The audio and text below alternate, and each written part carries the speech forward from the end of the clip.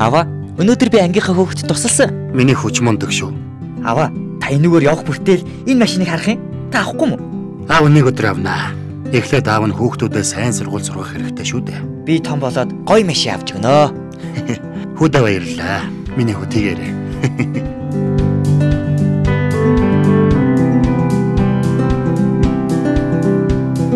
Аваа, та мартсан ч биш магадгүй. Би танд амлсан амлалтандаа хүрч чадлаа. Амлалтандаа хүрэх энийх ирч хүч, мэдлэг хүмүүжлийг та надад өгсөн шүү дээ. Тандаа баярлаа.